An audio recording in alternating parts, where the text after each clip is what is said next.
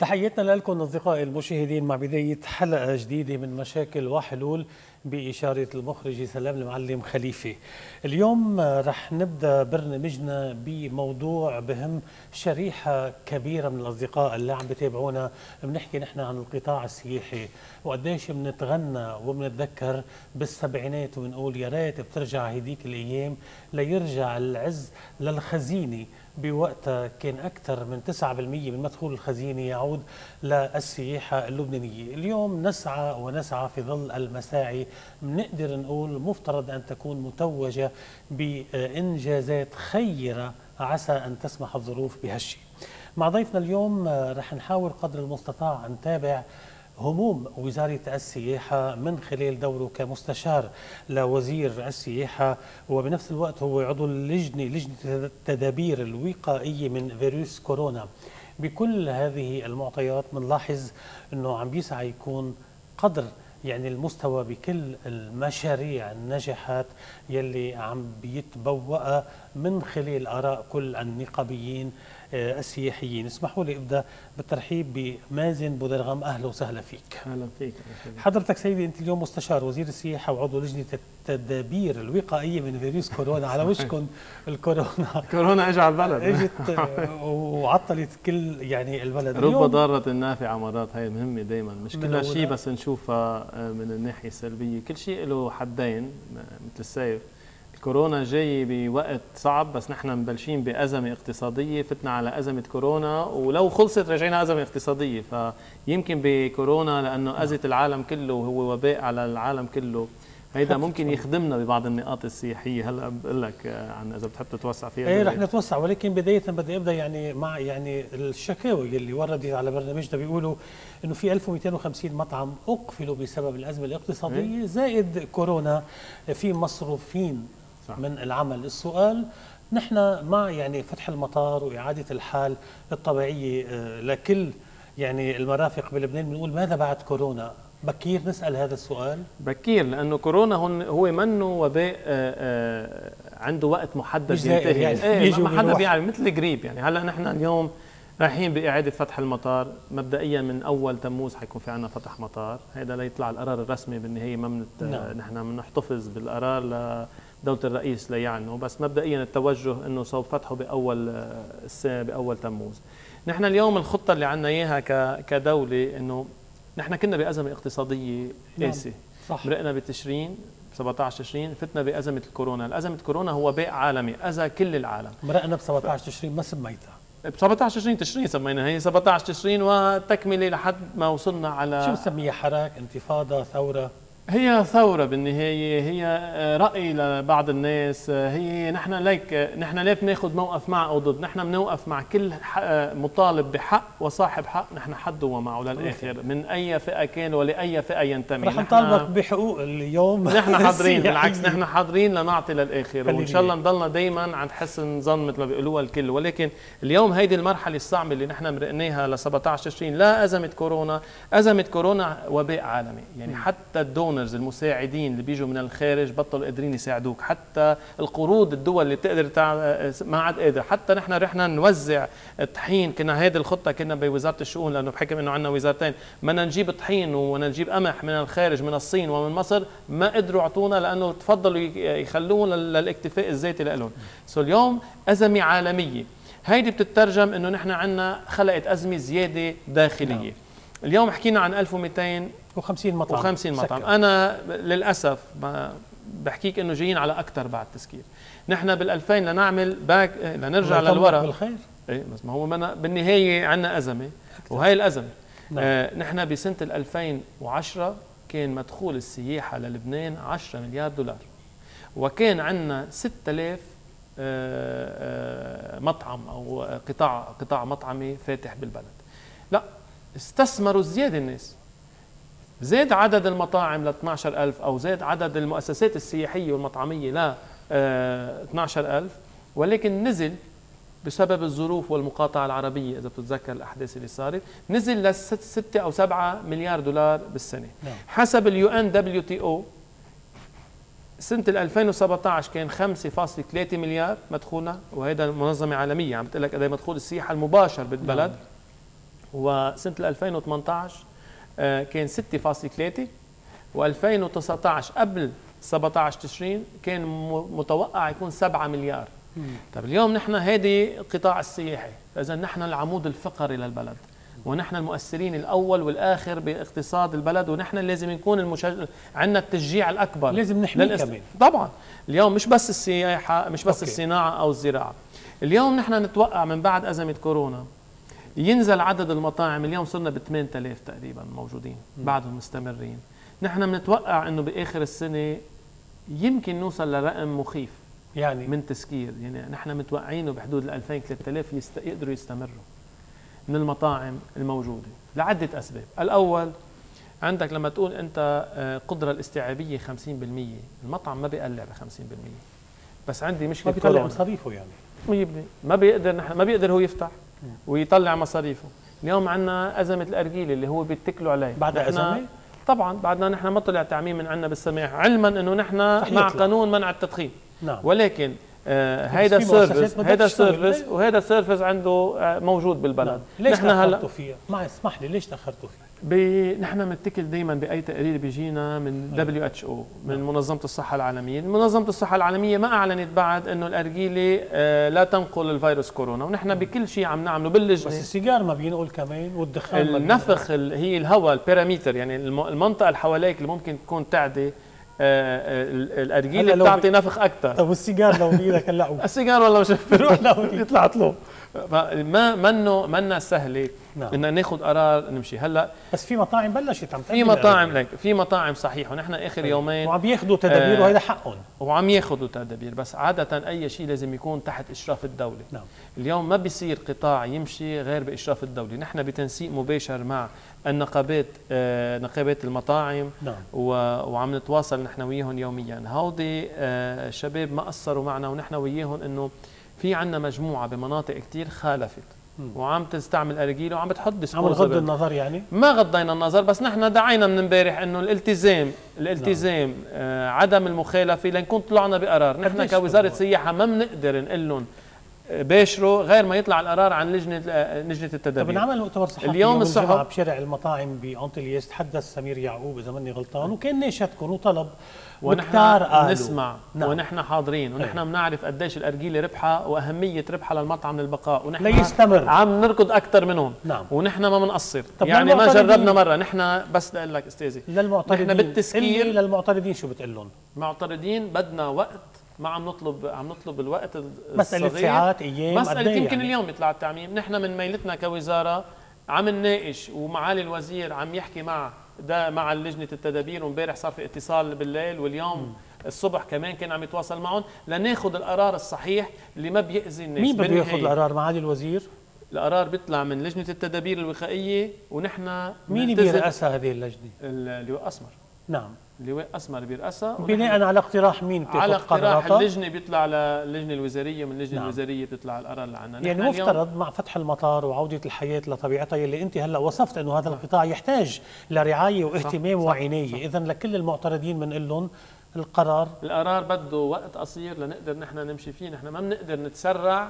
ونعرض البلد ونعرضكم للخطر. أول غاز شوي تحته ليغلي بسرعة وينضج لا عم نجرب. يعني اللي بيعرفونا كيف عم نشتغل نعم. بالوزارة بيعرفوا إنه نحن عم نركض نحن وياهم كتف على الكتف مثل ما بيقولوا باللبناني. نعم. نحن بالعكس نحن القطاع كله حريصين على استمراره وحريصين على بقائه وحريصين على إنه برافو. هو النفس الوحيد للبلد. ما عندنا نفس ثاني للبلد وصرنا قايلين كثير الزراعة بدها وقت والصناعة بدها وقت. وكل شيء ثاني بده وقت نحن نعم. الوحيدين اللي بنقدر نجيب بالتعبير الدارج هلا اللي صار fresh money على البلد نحن اليوم نتوقع بالسياحة بالسياحة طبعا م. السياحة اليوم عندك سياحة مؤلفه من طريق من طريق نعم. من طريقين السياحة الأولى سياحة المغتربين اللي هن okay. من إخواننا العرب اللي هن مخنوقين قاعدين بالحجر المنزلي اليوم البلد الوحيد اللي أثبت لكل العالم إنه من ضمن ال 15 بلد الأساسي اللي هن قدرت تتخطى هذا المرض هو. هذا الوباء هو لبنان. هو لبنان. طيب واليوم المنفس الوحيد للبلدان العربية هو لبنان. ليه؟ لأنه كمان أوروبا اللي بفترة نعم. السابقة ما قلت لك رب ضارة نافعة. آه نحن غلي الدولار عندنا بس صارت الفاليو قيمة المصاري اللي بده يجوا يشتروا فيها أعلى بثلاث مرات أربع مرات. يعني صار عندهم ربح أكثر. مثل ما نحن كنا نطلع مزبوط. على تركيا ونروح على مناطق ثانية لنشتري لأنه أرخص. اليوم قادرين العرب يجوا على لبنان. كل الإخوان العرب والمقيمين بالبلدان العربية يجوا على لبنان لحتى يس يكزدروا يغيروا جو ونحن نعم. أقل بالإذن بس نحن أقل بلد خطر okay.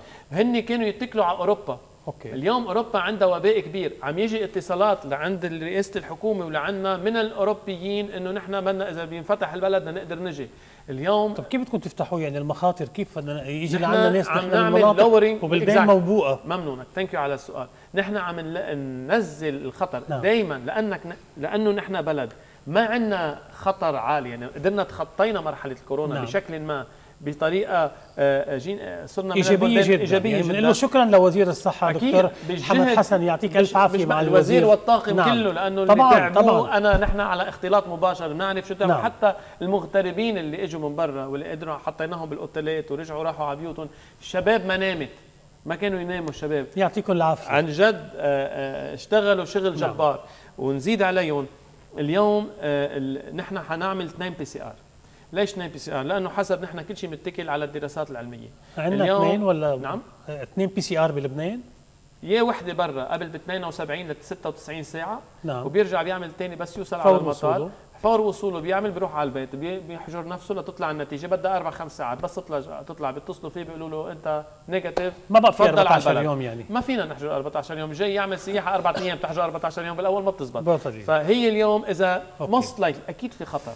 دائما عم نقول للناس نعم. الوقاية هي للحفاظ على البلد وعلى أهلك وعلى ناسك وعلى عائلتك بس أنا اليوم إذا بهمل الوقاية بكون عرضت البلد كله للخطر. نحن بلبنان ما بنحمل موجه ثانية نعم. قاسي. هيدي ضروري الناس تستوعبها. ما بنحمل موجه ثانية يعني أزمة اقتصادية مع كورونا مسكرين البلد. نرجع نروح نسكره مرة ثانية كارثية. طيب. يعني الناس بتسكر. سيدي أنت هلا من شوي حكيت عن الفريش ماني. يعني شغلة كثير مهمة لحتى يكون عندنا نحن يعني استمرارية لقطاع المطاعم. يعني صح. كمان يعني كل المطاعم بيقولوا نحن عم نشتري على أساس ال 4000 وعم نحاسب الزبونات على أساس 1515 أكيد. أكيد. يعني هذه المواضيع من ضمن الشيء اللي قاله كمان الأستاذ سمير يعقوب بالمؤتمر الصحافي بأنطلياس وكان هو آه، محط مفارقة. كيف بدنا نحن نقدر نتابع وكله خاضع لضبط أو الضبطه السياحيه وزارة السياحة اللي بتراقب الأسعار. كيف فيني فوت أنا على المطعم؟ ادفع له على أساس 1005 مرة قلنا لهم آه، الزبون هو عنده حق الخيار. اختيار sorry هي قلت على البسينات وقتها؟ إيه على على على الطاعم وعلى على المقصد من هيك هيدي الجمله أو كل هول الجمل نحن بنظام اقتصادي حر. أنا معك. ولكن الحرية تلزم الناس بالمسؤولية والتوجيه عبر الدولة. نعم. نحن اليوم طلبنا من الجميع ما يعلوا السعر بشكل مخيف. يعني يشتروا على 4000 يا سيدي عم يشتروا على 4000 حاوصل نحن قلنا لهم بدكم تعلوا السعر علوه 20 25% وعملوا هندسة المنيو بطريقة يضلوا منطقي للناس تقدر تظهر. مزبوط. اليوم إذا بتحط السعر مخيف ليه المقيم بيقدر يشتري وليه فاتحين المطار ليجي المغترب؟ لمين بدك تبيعهم؟ يعني بدك تاكلهم حضرتك ما فيك تعمل شيء ثاني فاليوم بما إنه ما بدك بدك تبيعهم مضطرين نحن نفتح بالمنطق. نعم. نحن مستوعبين وعندنا فكرة إنه الوضع آه، السوق السوداء سوق الدولار يختلف عن سوق المبيع. طلبنا منهم ما في مشكل علي سعرك. ونحن عم نطلب من حاكم مصرف لبنان وعم نطلب من الدولة المساعدة. هذا قطاع عم ينهار. في فرق بين الإنسان اللي عم آه، اللي حلو. عم ينزف أو عم يحتضر. نحن عم نحتضر. بطلنا عم ننزف. عم بيسمع حاكم مصرف لبنان لكم طلبتوا اجتمعنا باجتماع عند دولة الرئيس آه، آه، حسان دياب بنهار الأربعاء إذا مش غلطان الماضي. وعندنا اجتماع اليوم الساعة 3 كمان عند اللجنة لجنة السياحة مع الأستاذ أيوب حميد شو العنوان؟ عنوان مطالبة مطالب القطاع السياحي حلو. لتلبيته. اليوم القطاع السياحي ما عم يطلب مصاري. نحن ما قلنا أعطونا مصاري. نحن اللي عم نقول لهم إياه تعوا شيلوا عن ظهر بعض بعض الإعفاءات الضريبية حوافز. بعض المساعدات لنقدر نستمر. حوافز يعني اكزاكتلي بس يقدر يستمر. يعني إذا بعد في هالنفس كله يلا يكمل معنا نحن وياه لأنه إذا سكر قطاع المطعمي نعم. وسكروا هالأوتيلات أنا ما بعرف شو بعد عنا بدنا نسوقه لو للخارج ما عشان شيء نسوقه. نحن نضلنا إيجابيين بدنا توقف الدولة مع مع مع هذا القطاع لمساعدته. دولة الرئيس أعلن الاستجابة الكلية وتبنى كامل المطالب. معالي الوزير بعث رسائل للجميع لأنه نحن مش كلهم من عنا. يعني للتوضيح. نحن في أشياء محددة بيصدروا أنتوا الدينامو أنتوا. نعم صحيح بس نحن اليوم في أشياء معينة بتصدر من عنا عندنا نعم. قرار واحد نعم. اللي هو الخمس سنين لتاجير السيارات. هذا مشروع مرسوم بيصدر من عنا. أما الباقي فهن إيه يا أما من مصرف لبنان يا أما من وزارة العمل آه، العدل سوري يا أما من الداخلية يا أما يعني منن من عنا. فنحن عم خاطبناهم عبر رسائل رسمية لكل الوزراء للمساعدة وإقرار هودي الخطط بشكل سريع.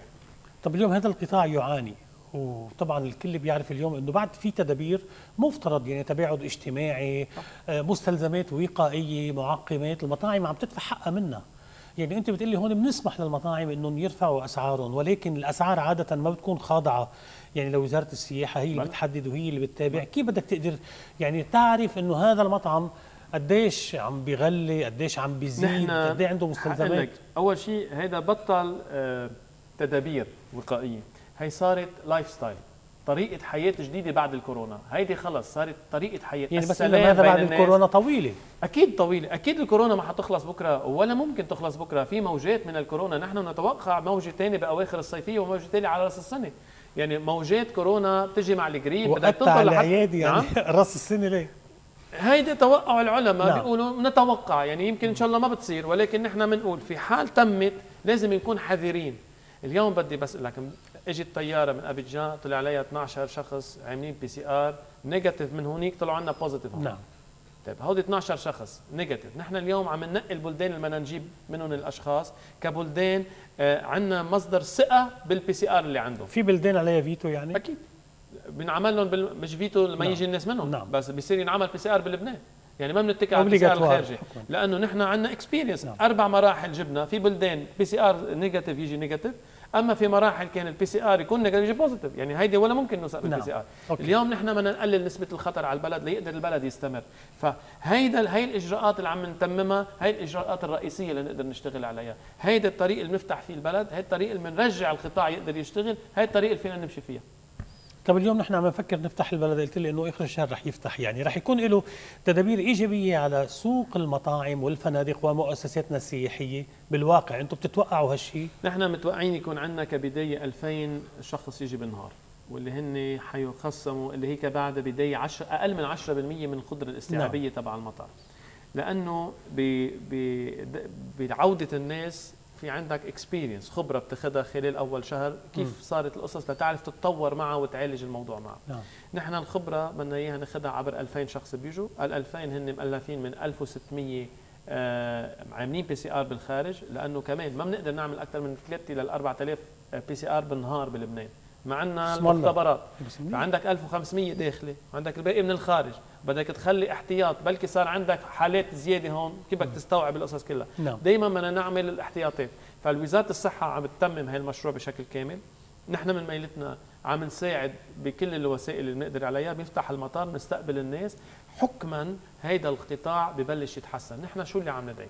في عندنا ناس لهم ست أشهر ما شايفين اهلهم اللبناني حيجي إذا نحن دخلنا على لبنان 2000 شخص على مدة شهر.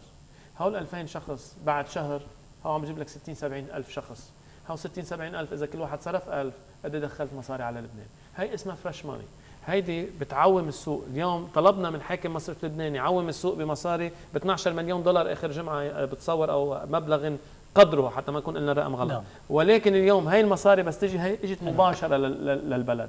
هي بتساعد على الحركه الاقتصادية. الحركة تتكامل.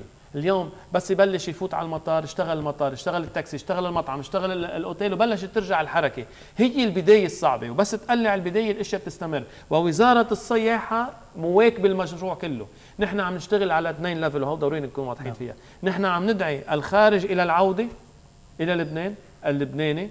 يجي يزور أهله لأنه هذا بيجي وبيجيب معه كمان مصريات بيصرف بلبنان. عم ندعي إنه بلد هو آمن. كفاية لكل إخواننا العرب والخصوص العرب لأنه العرب أقرب لنا نعم.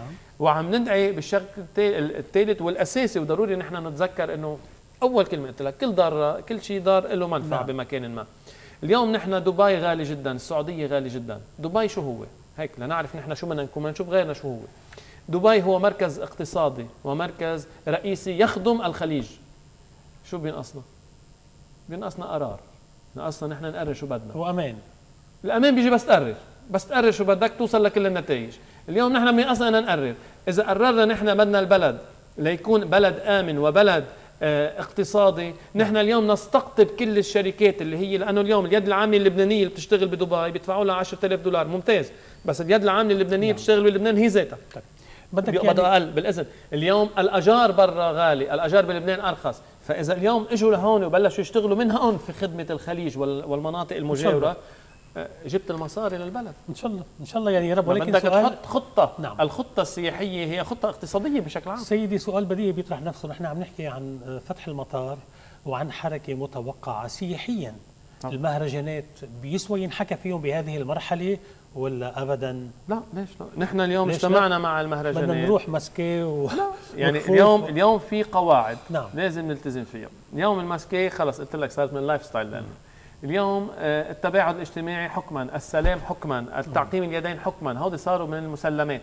اللي ما حيتغير بالقريب العاجل. مهرجانات ما فينا نقول يحضر 10 أو 20% يعني بيحضر 100% و... وبيقولوا منظمين المهرجانات عم نخسر. هلا منظمين المهرجانات من أول ما بعرف أنا بعرف إنه عم يخسروا. هلا أنا ما بدي فوت ليش عم يخسروا الأسباب؟ اجتمعنا معهم اجتماع أولي ومشكورين آه في بوادر مهرجانات يعني اجتمعنا؟ مش مهرجانات بالشكل العام بعدنا ما أخذنا قرارات بهالاتجاه. نعم.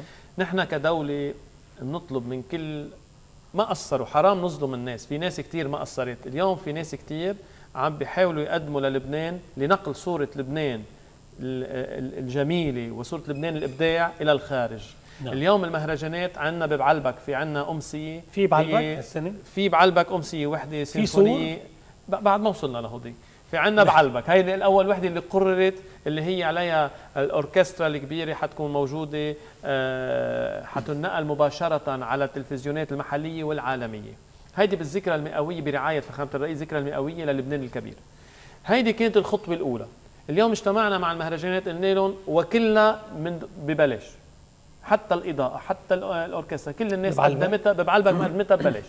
نحن طلبنا من المهرجانات واجتمعنا من يومين. وهلأ حنجتمع نهار التنين نحن وياهم عم نسأل كل المهرجانات اللي هن يمثلوا صورة رئيسية وحضارية للبنان. نعم.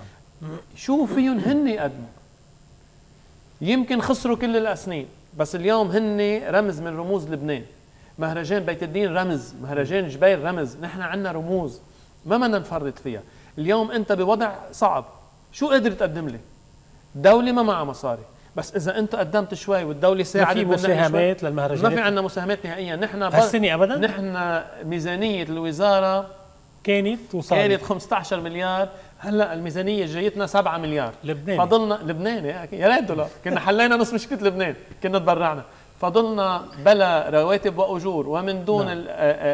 المصاريف التشغيلية 79 مليون. لنمشي لبنان كله في 79 مليون شو بدنا نعمل؟ اليوم أرقام مخيفة البلد وضعه صعب. الحكومة وضعها صعب المصاري ما في بالدولة ومفهوم الوضع.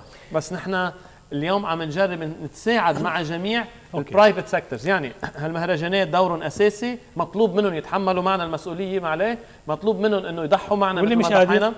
بيعتذر. ما في ما فينا نطلب منه أكثر من هيك. بس نحن فينا نقول لهم تحملوا معنا لأنه وجودكم رئيسي. مساهمة أساسية. يعني عم تحكي عن أرقام مخيفة يعني بس ورد على بالي بالختام سؤال. يعني في أصحاب كثير مؤسسات سياحية بنسمع إنه في عندنا صار كثير أعباء مالية ما عم نقدر. في يعني خطة لوزارة السياحة لحتى تقدر تساعدهم من أجل جدولة هذه المستحقات مع المصارف ولا مع غيرها؟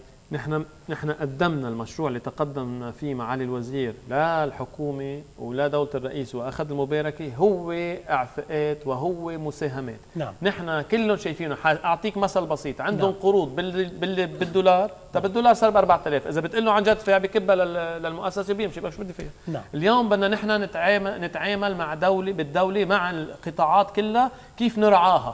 ما فينا نطلع فيها بس إنه هلأ هيدا لازم تدفعوه.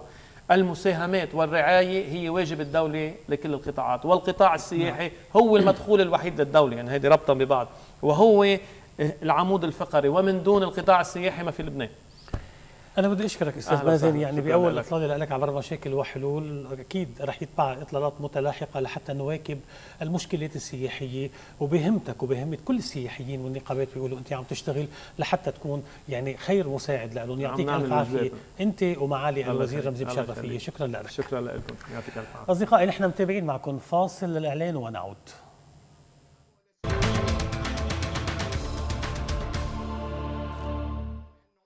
متابعين معكم مشاكل وحلول ودائما عبر تلفزيون لبنان اتصالنا هلأ رح يكون عبر سكايب مع عضو الهيئة التأسيسية لنقابة عاملي المستشفيات الحكومية بلبنان خليل كعين. تنستوضح البيان الصادر وشو هي مسبباته في ظل إطلاق الصرخة ودق ناقوس الخطر. ألو. إيه ألو. أستاذ خليل مرحب فيك عبر مشاكل وحلول من تلفزيون لبنان أهلا وسهلا فيك. يعني البيان الصادر امبارح أنتم طلبتوا معالي وزير الصحة التدخل لدى وزير المال لحتى تقبضوا معاشاتكم لأنه في أكثر من 80% من موظفي المستشفيات من دون رواتب من أكثر من شهر مفترض مستحقاتكم توصل لعندكم. هذه الخلاصة إذا ممكن تعطينا بعض التفاصيل. التفاصيل نحن عادة للأسف يعني قبل أزمة كورونا نحن على طول علقانين بالروتين السيء بين وزارة الصحة ووزارة المال، روتين بطيء ما بنقبض مستحقاتنا وهذا بيؤدي كمان إنه ما نقبض معاشاتنا. نعم. آه كمان وزير الصحة مشكورا الأسبوع الماضي حول المستحقات طول 2019 على وزارة المال.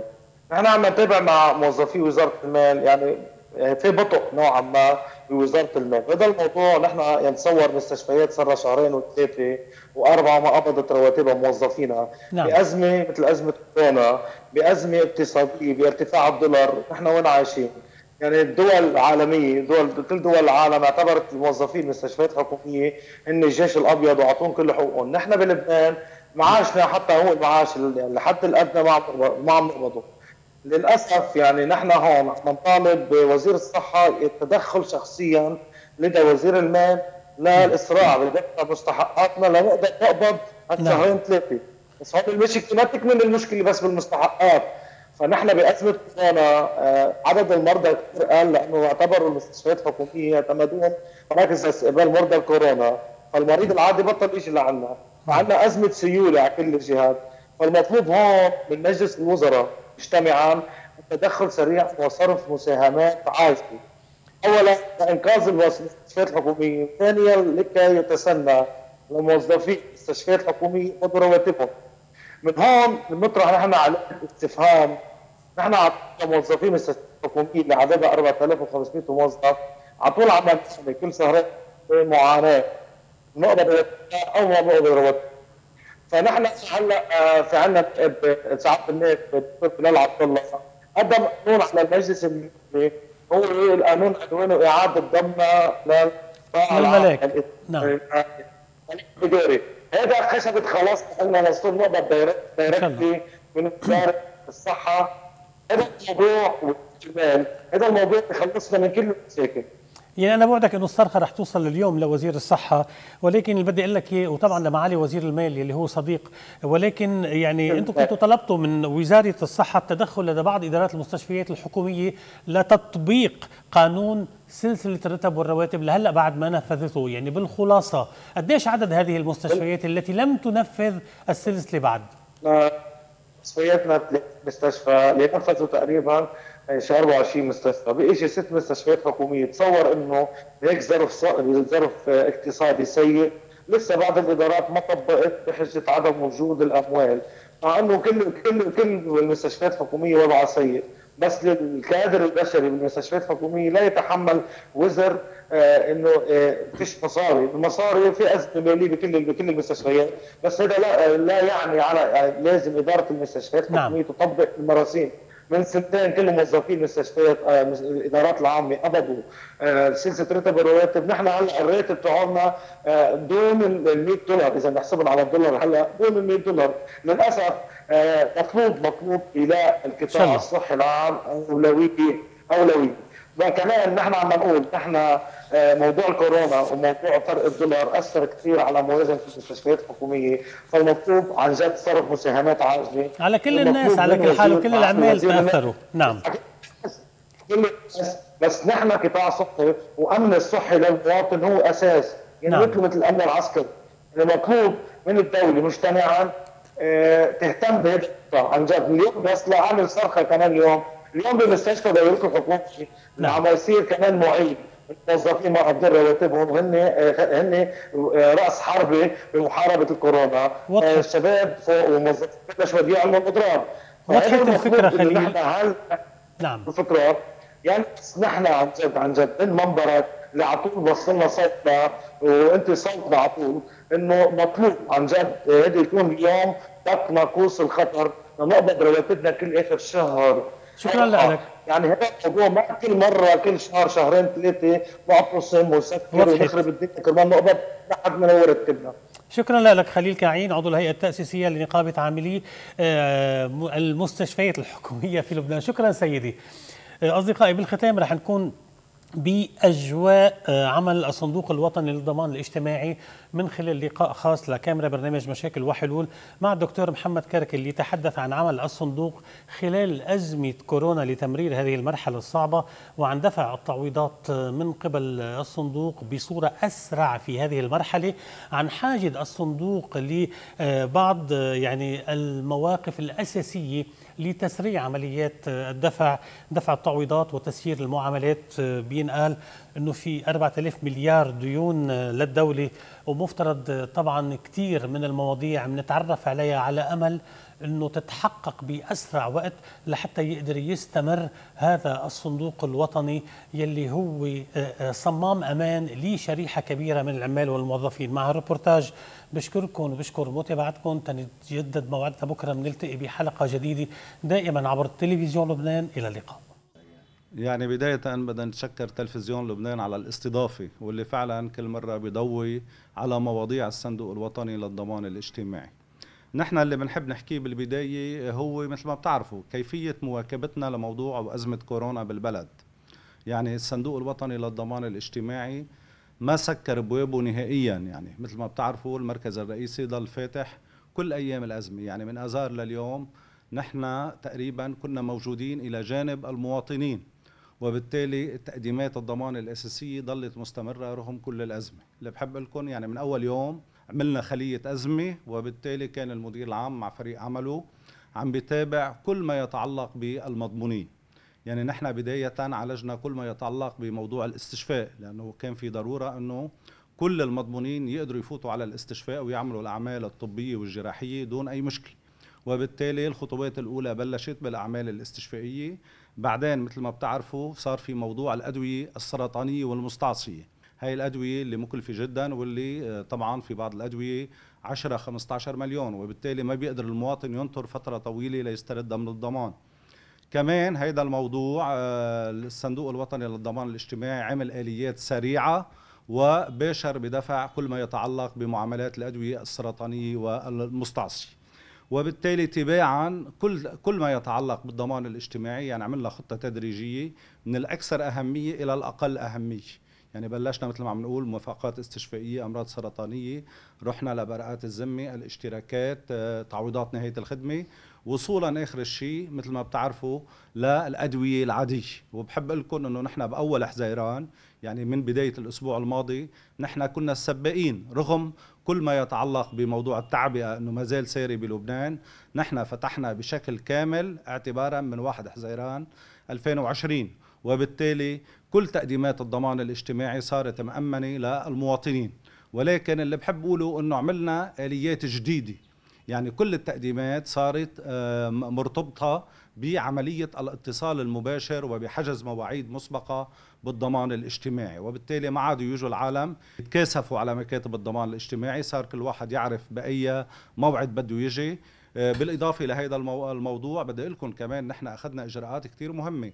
على صعيد آه، كيفية محاربة كورونا والمحافظة على المواطنين إن كان المراجعين أو المستخدمين. يعني نحن عقبنا مكاتب الضمان الاجتماعي أكثر من مرتين أخذنا كل سبل الوقاية كمامات قفازات كل البرودوي للتعقيم وبالتالي اشتغلنا على الموضوع بشكل كتير كبير. يعني دفعنا أكثر من 100 مليون ليرة آه، تجهيزات وإلى ما هنالك لحتى آه، ما تنتقل العدوى إلى الضمان. وبحب أشكركم إنه لغاية اليوم نحن ما صار عندنا ولا حالة كورونا لا بين المراجعين ولا بين المضمونين. منشان هيك بنعود بنأكد إنه نحن عم ناخذ كل الاحتياطات اللازمة.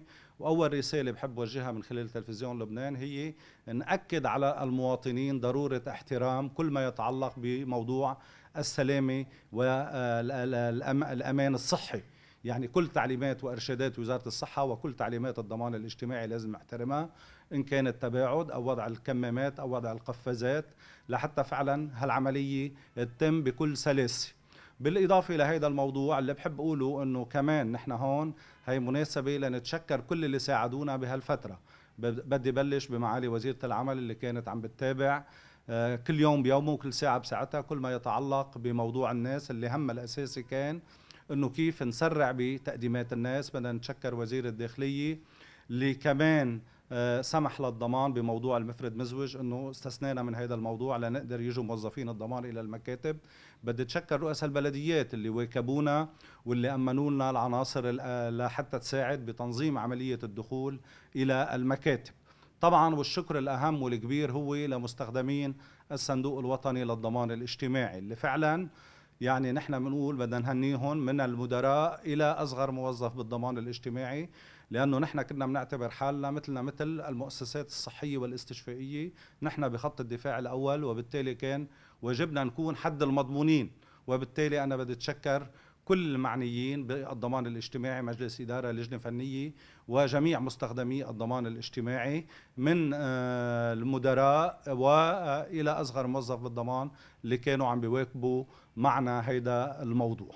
دور الصندوق الوطني للضمان الاجتماعي الكل بيعرف بوقت الأزمات ما في يعني بكل بلدان العالم كل التجارب أثبتت وقت اللي بيكون في أزمة البلاد اللي فيها ضمان اجتماعي بتقدر تمرق الأزمات بشكل أفضل وبالتالي لو ما في ضمان اجتماعي بلبنان كان الوضع أسوأ بكتير. وهون بحب طمن كل الناس لأنه مثل ما بتعرف في هجمة كبيرة على تعويضات نهاية الخدمة بالصندوق الوطني للضمان الاجتماعي. نحن هون كمان آه، كثفنا لأنه طبعا وهي تعليمات معالي وزيرة العمل أنه نشوف كيف نسرع دفع تعويضات نهاية الخدمة لأنه في كتير ناس آه، تركت شغلها. في ناس طلعت على السن وبالتالي في كتير ناس صار ما معها مصاري لتقدر تأكل. وبالتالي كان هناك ضرورة إنه نسرع بإنجازات آه، طلبات نهاية الخدمة. وهون بحب بشر اللبنانيين إنه نحن تقريبا الوتيرة ارتفعت بشكل كتير كبير. يعني كنا عم ندفع اسبوعيا بحدود 400 500 طلب بالأسبوع. هلأ عم عم ندفع بين 800 ل 1000 طلب نهاية خدمة بالأسبوع.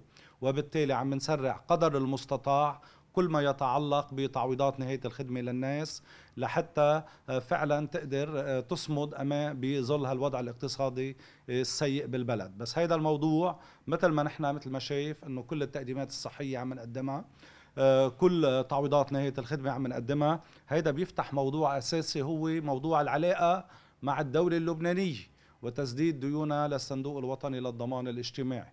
فنحن كمان هاي الرسالة الثانية بنحب نقولها إنه صار لنا على الدولة اللبنانية أكثر من 4000 مليار. وبالتالي الدولة اللبنانية من 2015 لليوم ما دفعت شيء للصندوق الوطني للضمان الاجتماعي باستثناء دفعة بحدود 60 أو 70 مليار اللي هي ولا شيء تقريبا. وبالتالي نحن عم نوجه رسالة قوية وحاسمة ونهائية للدولة اللبنانية إنه ما فيك تتخلي عن الضمان الاجتماعي وبالتالي بدك تباشري فورا إلى دفع مستحقات الصندوق الوطني للضمان الاجتماعي وإلا نحن مش مستعدين نكمل إلى ما لا نهاية بالاستعانة بأموال نهاية الخدمة لأنه مثل ما بتعرفوا نحن عم نستعين بأموال نهاية الخدمة لنمول فرع المرض والأمومة. نحن عطينا حد نهائي مع نهاية العام إذا الدولة اللبنانية ما كانت قايمة بواجباتها نحن حنروح بإطار القرار الصعب إنه نقول نحن ما حنقدر نكمل بدفع التقديمات الصحية. وبالتالي من هلأ عم نقول للدولة اللبنانية بدها تقوم بواجباتها بدها تلاقي الطرق. مثل ما عم بتلاقي طريقة لتدفع للكهرباء للمستشفيات للمتعهدين ولكل الإدارات والوزارات بدها تدفع للصندوق الوطني للضمان الاجتماعي لأنه هو صمام الأمان الاجتماعي. وبالتالي بنتامل التجاوب. نحن عملنا زيارة لمعالي وزير المالية وعدنا خير بهذا الموضوع وبتأمل التجاوب بأسرع فرصة ممكنة لأنه الضمان الاجتماعي مثل ما عم لك نحن ماخذين قرار نهائي نحن ومجلس إدارة الضمان. من هلأ لآخر السنة إذا الدولة ما بدها تدفع حنروح بخيارات قاسية وبالتالي بنحب نحن طبعا إنه ما نعمل أزمة بالبلد. ولكن إذا اضطرونا إنه نعمل أزمة بالبلد حيصير في أزمة كثير كبيرة. إذا الدولة اللبنانية ما بدها تبادر إلى دفع مستحقات الصندوق الوطني للضمان الاجتماعي. مثل ما كنا عم نحكي عن الوضع المالي بدنا نحكي عن الوضع بالموارد البشرية. الضمان الاجتماعي صار عنده شواغر 55% يعني نحن عم نشتغل ب 45% من الكادر تبعنا. وبالتالي هناك كمان مثل ما عم نقول على الدولة إنه تدفع مصريات الضمان كمان هناك واجب على الدولة اللبنانية أنه ترفض الصندوق الوطني للضمان. الاجتماعي بالموارد البشرية اللازمة. يعني نحن بحاجة على الأقل ل 300 400 موظف لنقدر نخدم بطريقة أفضل. هلا فيما يتعلق بالمراجعين مثل ما بتعرف طبعا عملنا آليات جديدة منصات إلكترونية وكله صار يحجز مواعيده عبر الواتساب أو عبر التليفونات وإلى ما هنالك. بالتأكيد العالم بدها شوية وقت لتترجلج مع هذا الموضوع بس نحن شفنا الأسبوع الماضي عملنا كتير ريبورتاجات التلفزيونات مش نحن. يعني ال New TV تلفزيون لبنان ال MTV LBC عملت مقابلات بالنبطية ببيروت ببعلبك بصور كل المواطنين أثنوا على كل التطبيقات الإلكترونية الجديدة اللي انعملت بالضمان الاجتماعي. ونحن هلأ عم نشوف لنختار أفضل التقنيات اللي انعملت بكل المكاتب ونوحدها على كل مكاتب لبنان. بالإضافة للي عم تتفضل فيه والأمور الروتينية أنا بحب كمان بشر اللبنانيين. يعني بالرغم من كل الأزمات اللي نحن فيها نحن كمان ما عم نترك الأمور الأساسية. يعني نحن كإدارة بالضمان الاجتماعي عم نتابع مشروعين كتير مهمين. أول شيء موضوع التقاعد والحماية الاجتماعية اللي كل الناس بانتظار أنه يصير في عنا آه، نظام تقاعد بلبنان. يعني يبطل عنا تعويض صرف يصير عنا آه، معاش تقاعدي مدى الحياة. وهون بنحب نبشر المواطنين اللبنانيين انه اللجنة الفرعية باللجان النيابية المشتركة اللي منبثقة عن اللجان النيابية المشتركة اللي هي برئاسة معالي الوزير آه، نقولها نحاس عم بتقوم بشغل كتير مميز. ونحن إن شاء الله متأملين من هلأ لقبل آخر السنة ننجز كل التعديلات اللازمة على مشروع التقاعد والحماية الاجتماعية لحتى ينرفع على الهيئة العامة لمجلس النواب وينقر وهيك بنكون عملنا إنجاز تاريخي بحيث إنه امنا معاش تقاعدي مدى الحياة. وبالتالي هذا مشروع كتير مهم عم نشتغل عليه. بالإضافة لهذا الموضوع في مشروع جديد كمان لأنه هذا المشروع قديم شوي. في عنا مشروع كتير مهم وهيدا كانت الداعية والسباقة له معالي وزيرة العمل هو إنه بدنا نشتغل على صندوق للبطالة بلبنان. وبالتالي هيدا كمان مشروع كتير مهم. معالي وزيرة العمل من حوالي أكثر من ثلاث أو أربع أسابيع قعدت معنا وقعدت مع آه، منظمة العمل الدولية آه، وحطت الإطار اللازم لحتى يبلشوا يشتغلوا بمنظمة العمل الدولية على مشروع للبطالة للبنان. ونحن كمان استتبعنا هذا الموضوع باجتماع عنا بالضمان الاجتماعي. وطلبنا رسميا من آه، منظمة العمل الدولية إنه تحضرنا مشروع يتلائم مع الأوضاع بلبنان. آه، طبعا نظام البطالة مش من هلأ إنه بدنا نبلش ندفع لأنه بدك تموله مسبقا.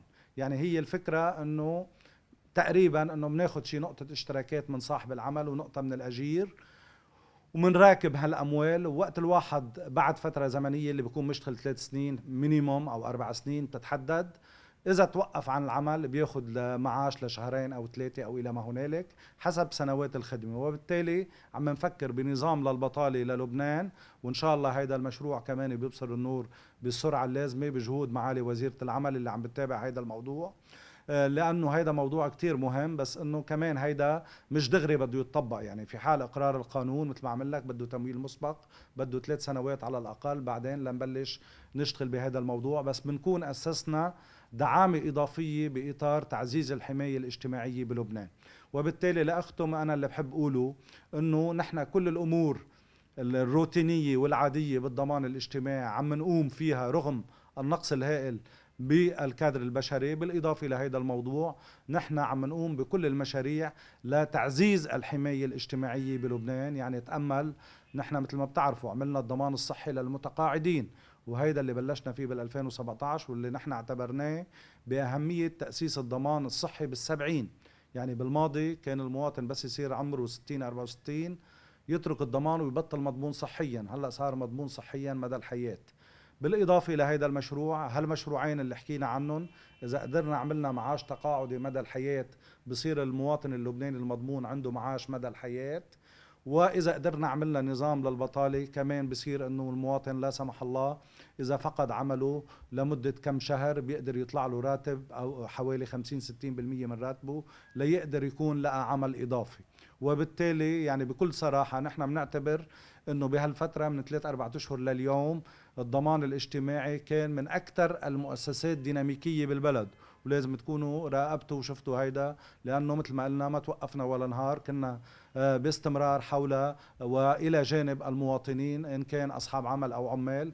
وكمان ما تنسوا يعني بالإضافة لكل الإجراءات اللي أخذناها أخذنا إجراءات كثير مهمة لتساعد أصحاب العمل. مددنا مهل دفع الاشتراكات مددنا براءة الذمة لآخر حزيران وبالتالي عملنا كل التسهيلات اللازمة إن كان للمضمونين أو لأصحاب العمل. يعني مثل ما الضمان قدم أنا برأيي على الدولة اللبنانية أنه كمان تبادر وتساعد الصندوق الوطني للضمان الاجتماعي لتدفع له مستحقاته آه، بالسرعة اللازمة. وفي نقطة أخيرة بدي أعود شير لها هي تتعلق بموضوع المضمونين الاختياريين. هول مجموعة من الناس اللي هن بحدود بحدود ال 11000 مضمون مع عيالهم تقريبا 25 ألف إنسان اللي هن متروكين للأسف في اعتمادات بوزارة المالية أكثر من 130 مليار ومش عم يندفعوا للضمان الاجتماعي. هيدي ديون للضمان الاجتماعي لفرع الضمان الاختياري. هود الناس ما عم ياخذوا تقديماتهم الصحية وعم يوقفوا علاجاتهم وفي ناس عندهم أمراض سرطانية ومستعصية. يعني عم بيصير في كارثة صحية واجتماعية بالبلد للأسف لأنه ما عندهم صوت ما عم بتبين. فأنا كمان برفع الصوت لوزارة المالية تسارع بدفع مستحقات الضمان الاختياري لحتى كمان نلبي آه، وندفع تقديمات الصحية للمضمونين الاختياريين. نحن عندنا تقريبا مليون وستمائة ألف إنسان بيستفيدوا من الضمان. المضمونين مع عيالهم أكثر من ثلث الشعب اللبناني. بالتأكيد بتصير في مراجعات. يعني قبل ما تفوتوا كان في أحد المراجعات من أحد الأطباء وبالتالي على طول في مراجعات من أطباء من مضمونين من أصحاب عمل. نحن اللي بنحب نقوله إنه نحن كلفنا مدير التفتيش والمراقبة بمتابعة كل مكاتب الضمان الاجتماعي وعملنا الأسبوع الماضي اجتماع لكل رؤساء مكاتب الضمان الاجتماعي. وعطيناهم التعليمات اللازمة بضرورة حسن استقبال المضمونين وتسريع إنجاز المعاملات. ونحن مثل ما بتعرفوا في مكتب شكاوى ونحن مكاتبنا مفتوحة ومدير التفتيش والمراقبة اللي هو لمسلم كل مكاتب الضمان الدكتور غازي أنصو كمان بابه مفتوح. وبالتالي أي مواطن لبناني عنده أي شكوى بيقدر إما يجي لعنا مباشرة أو إلى صندوق الشكاوى مكتب الشكاوى أو للمدير المكلف بمتابعة المكاتب. بالإضافة لهالموضوع نحن عندنا جهازين للمراقبة الإدارية على المستشفيات والمراقبة الطبية على المستشفيات وبالتالي آه، كل أجهزتنا موجودة لحتى تكون إلى جانب المواطنين. فبتأمل مثل ما عم أقول لك مثل ما نحن كنا حد المواطنين حد أصحاب العمل حد الدولة بهالفترة الصعبة إنه يبلش تبلش الدولة تلتفت للضمان الاجتماعي. وتأمنه حقوقه اللازمة وخاصة موضوع تبلش تدفع المستحقات المالية وتأمنه الموارد البشرية اللازمة وشكرا.